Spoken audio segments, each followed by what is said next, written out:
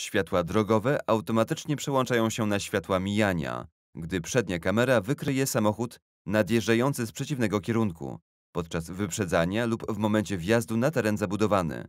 Następnie światła mijania automatycznie przełączają się na światła drogowe. Funkcję tę włącza się za pośrednictwem wyświetlacza wielofunkcyjnego oraz przez włączenie świateł drogowych.